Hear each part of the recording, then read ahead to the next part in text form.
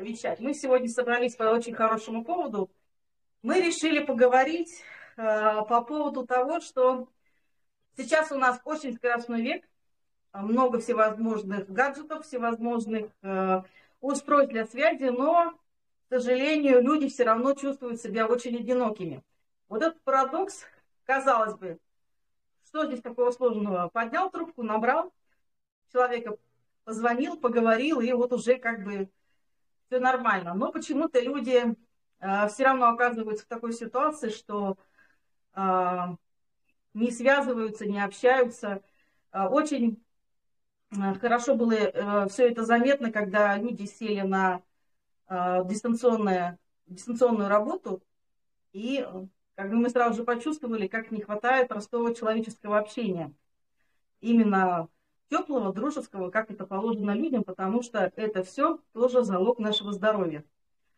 А, потому что доброе слово, оно и лечит, и напутствует, и оберегает, и исцеляет. Очень э, много зависит э, от того, что мы э, общаемся. Мы же все-таки люди социальные, социальные. Поэтому нам, конечно, нужно общение. Вот.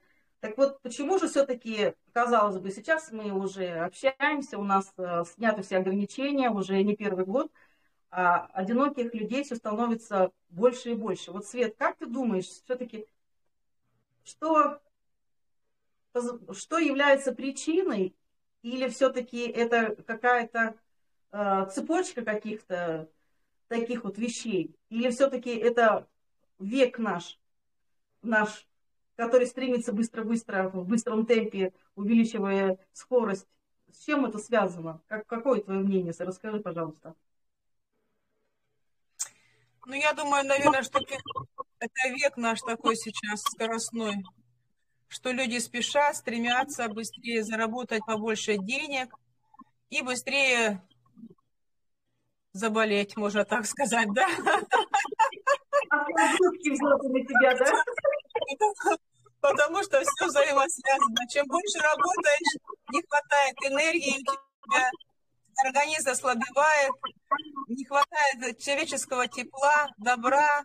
То есть э, в основном мы все сейчас на работе. И люди, конечно, страдают от того, что не хватает им именно что человеческого тепла. С работы человек приезжает, обычно у него настроение какое? Уже никакое. Он уставший, он хочет просто лечь на кровать. Вот, покушал, заехал в, супер, в этот супермаркет, набрал продукты, в основном сейчас так делает, мало кто готовит, особенно в больших городах. Приготовил, разогрел их, покушал, быстренько упал и все. Ну, естественно, что он не получает ни витамины, ни минералы, я к своему виду, да. Вот. То есть хочу сказать, что такой сейчас век, и нам всем нужна какая-то поддержка. В первую очередь, конечно, человеческая поддержка нужна. Внимание человеческое нужно.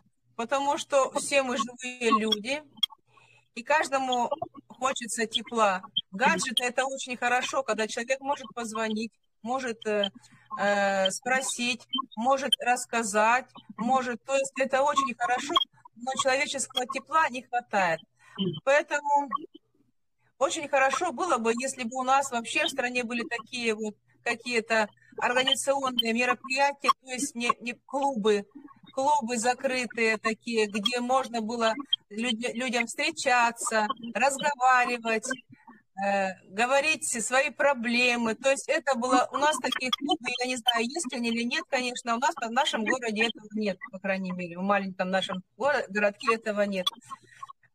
Вот. А хотя в Европе и в Средней Азии такие есть уже клубы, где люди приходят и то есть рассказывают о своих проблемах, общаются, занимаются каким-то общим делом. Вот. А я, вот, я вот знаю, что хочу добавить. Твою мысль, которую ты сказала немножко раньше, про то, что вот люди э, находятся в постоянном цейтноте, и э, отработали, потом в пробках в больших городах э, едут до дома, многочасовые всевозможные эти пробки, и для них вот эти выходные как глоток свежего воздуха. И э, люди не успевают восстановиться за, за этот маленький период, связано это с тем, что мы находимся в постоянном стрессе. Вот этот постоянный стресс, который доминирует сейчас, он настолько велик, потому что требования на работе возросли, сами знаете, у нас какая обстановка с экранов телевизоров тоже все это достаточно негативное. Оно на, на нас тоже воздействует, мы начинаем переживать, как правило, включаем новости, и когда мы ужинаем э, вместе с едой, э, с, ужиная, включаем новости, и все это одновременно, весь этот поток э, к нам начинает поступать, и, конечно, а, человеку хочется помочь. Вот, допустим, в сибирском здоровье есть прекрасные препараты, которые помогают в данной ситуации. Да, у, нас, у нас целая линейка, целый спектр а, для того, чтобы человек восстановил э, свое состояние, начиная от магния, да, глицин у нас, всевозможные релакс-боксы, потом э, всевозможные все вот эти моменты, которые очень помогают хорошо человеку восстановиться. Потому что даже если будут, э, как ты говоришь, мне кажется, клубы, человек в таком состоянии, ему не до клубов, ему не хочется идти и куда-то веселиться и как-то позитив свой показывать, потому что у него пока что состояния нет вот этого а, отдохнувшего, чтобы человек действительно выспался, действительно человек мог отдохнуть, как говорится, не только душом, но и телом, чтобы человек расслабился и понял, что вот он человек, а не вот этот вот маленький механизм в большом каком-то конгломерате или в большой организации, который вот этот вот шурупчик должен вертеться и крутиться ежедневно. Потому что э, действительно работы много. Э, и вот когда приходишь э, часто домой, как, э, вот, допустим, люди, как особенно кто занимает какую-то должность, они говорят, «Ну, нужно это оставлять за порогом. Но мы же люди, мы же не можем полностью отключиться, то есть какого-то у нас нет рычага, да, чтобы мы переключились, а, все проблемы свои рабочие оставили там, а дома уже а, совершенно по-другому себя вели. И как бы получается, что люди вместе с этим совсем несут еще и домой все вот, вот, вот этот весь э, как бы э, состояние э, тревожности, состояние какой-то невыполненной работы. И вот это дальше начинает уже проходить в нашу жизнь. И, конечно, уже тяжеловато здесь какие-то моменты, такие острые углы возникают в семье. Вот, потому что жена со своей работы пришла, муж со своей работы пришел. В школах, как мы знаем, и если дети, а, там свои какие-то проблемы у ребенка. И вот, конечно, вот, вот, вот это все как бы такое состояние достаточно а, вот, негативное, оно все это возникает. Я думаю, что а, ты правильно сказала про то, что нужно, чтобы в городе создавались какие-то вещи. Ну, допустим, сейчас, как я заметила, больше и чаще стали проводить городские мероприятия по всевозможным празднованиям. А, вот у нас недавно была Масленица, да, а, очень много у нас проводилось в городе всех мероприятий, где люди приходили своими семьями и действительно отключались. Потом за городом у нас там на лыжной базе э, тоже мероприятия были, еще какие-то моменты. Естественно, хорошо, что есть клубы. А так как мы с тобой из сибирского здоровья, мы можем сказать, что мы тоже стараемся людей немножечко как-то взбодрить, а, направить на очень хорошую позитивную сторону, на русло, потому что у нас, у каждого консультанта есть свой чат. И э, вот я хочу привести пример, допустим, Светлана, она проводила а, на Масленицу очень замечательный конкурс, назывался «Чудо-блинчик». Вот э, девочки, кто в, э, в чате у Света находится, они пекли для своих родных блинчики, а, Света их для этого стимулировала, говорила, давайте, девочки, сегодня накормите своих близких вкусными блинами, а мы устроим конкурс. А, были участники, и Света потом разыгрывала между ними а, подарки. Это было очень приятно, потому что, может быть, кто-то бы и э, не стал в этом принимать участие, но когда ты видишь, что в чате выкладывают такие красивые фотографии, когда за столом Э, лежат вот эти замечательные блины, ароматные, вкусные. Даже, Светлана, я помню твое видео, когда ты э, пекла блины и э, озвучила так, что э, ну, просто бесподобно ты сказала, девочки, у меня вот не было молока, но, естественно, я из кислого молока сделала блины, и они такие кружевные, ароматные, а какие вкусные! Ко мне мои внуки не пришли, но я эти блинчики заморожу, и когда в следующий раз они ко мне придут на каникулах, я им все это разогрею, и э, вот как раз угощу. То есть, действительно, вот когда ты находишься э, в каком-то обществе э, людей, которые э, стараются, чтобы было больше позитива и было больше добра, люди вот начинают совершенно по-другому себя вести, делать какие-то другие вещи, даже они этого не планировали. Но вот когда все-таки есть такой моторчик, как наша Светлана, она зажгла своей идеей, и совершенно городские власти тут ни при чем, несмотря на то, что никто ей не помогал, но все равно вот этот вот позитив и хорошее настроение осталось. И я с удовольствием для Светланы сделала видео, потому что мне очень хотелось поддержать в ее начинаниях, очень хотелось поддержать ее девочек. И э, сейчас мы э, договорились, что будем проводить э, Э, точно так же какой-то конкурс, когда девочки будут выкладывать свои красивейшие фотографии с пасхальными яичками. Потому что у каждой хозяйки, да, Свет, свои пасхальные яички. И вот видишь, у нас. Каждый год происходит. Да, да. И все э, стараются как-то по-новому э, что-то новое внести каждая хозяйка, чтобы все-таки вот как-то вот было все-таки это празднично. И вот мы с тобой начали, казалось бы, разговор про э, одиночество, а оно даже не получается про одиночество рассказать, потому что э, достаточно много инструментов придумано э, консультантами сибирского здоровья, чтобы люди, те, которые находятся в чате, они не чувствовали себя одинокими. Поэтому приходите к нам в чаты. У нас... Да, девочки, приглашайте своих людей в чаты. То есть людей очень-очень много одиноких, которые просто страдают. Я даже вот вижу, когда ко мне человек заходит, я вижу, одинок он или нет. Человек, человеку хочется пообщаться, поговорить, э, высказать свое мнение. То есть это очень круто, когда мы все вместе сплочаемся и поддерживаем друг друга. Да. И вот нас такая важная, нужная информация.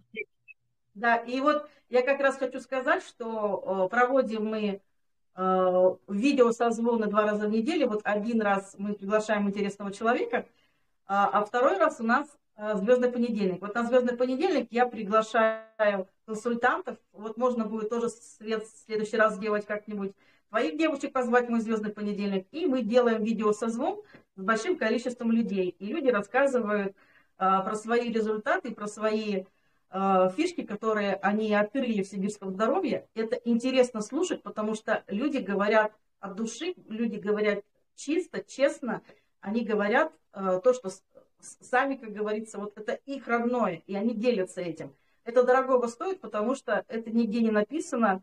И э, сначала я так увидела, э, люди немножечко реагировали на это, э, не понимали, зачем я это делаю, а теперь поняли – потому что легче стали идти на контакт, легче стали общаться. И поняли, что не обязательно находиться рядом или быть соседями, или э, быть какими-то друзьями или родственниками, чтобы общаться. Надо э, быть людьми, которые смотрят в одном направлении. Надо быть людьми, которые э, чем-то объединены одним, и тогда находятся точки соприкосновения, и ты начинаешь общаться. Вот как в этом данном случае хотя бы даже сибирское здоровье, оно объединяет общение для сибирского здоровья. Вот. У нас э, было пробное общение с Любой Бабушкиной, ее э, веточка приходила к нам в гости. Вот, и я думаю, что девочкам, если твоим понравится, можно тоже взять э, за такое общение и попробовать что-нибудь новое, потому что нужно одиночеству давать отпор. Вот. И пусть как можно меньше будет одиноких людей, потому что э, все это нас объединяет. Вот, э, э, понимаете, как-то у нас не принято, да, э, в, сети, в сетевом бизнесе делиться какими-то э, проблемами или еще что-то, потому что они, не потому что не принято, а потому что они уходят на задний план из-за того, что позитив выходит на первый план. Э, всем всегда здоровья желаешь, долголетия, процветания, чтобы ваша семья э, была защищена вот этими всевозможными нашими вещами, которые помогают, которые помогают именно э, оздоровиться и профилактировать все вот эти вещи. Поэтому всегда позитив выходит на первый план. Вот это мне очень-очень нравится. И еще раз хочу пригласить всех желающих, кто нас будет смотреть, заходите к нам в чаты, заходите к нам в группы, а уже там будем общаться, будем созваниваться. И я думаю, что э, это немаловажно, когда в нашем быстром темпе, в нашем в быстром веке можно найти вот действительно единомышленников. Свет, скажи еще что-нибудь, что-нибудь скажи людям. Я так заслушалась, так заслушалась, слушала тебя, что-то, и мысль даже потеряла. Ну, а что сказать? Хочу, чтобы люди все были счастливы, все были здоровы, не было одиноких людей. Даже если вы остались одиноки, чтобы вас, э, э, вам было где э, рассказать о себе, принять участие где-то в каком-то мероприятии, сходить куда-то в кино, например, с кем-то или, например, просто летом на озеро сходить. То есть, чтобы вы в душе, даже если вы понимаете, идете с кем-то в кафе, да, вы можете идти как два просто одиноких человека. А хочется, чтобы люди были близки душой, понимаете? А близкие душой э, люди соединяются только тогда, когда они постоянно находятся вместе, то есть э, в одном месте, когда они постоянно разговаривают, когда они друг друга выслушивают, когда они друг другу дают что-то, вот тогда человек сближается и становится близким друг к другу. А просто один раз в неделю сходите с подружкой на озеро или куда-нибудь еще, это тоже круто, наверное. Главное, чтобы, главное, чтобы у нас было в душе тепло и радостно. Наверное, как-то так.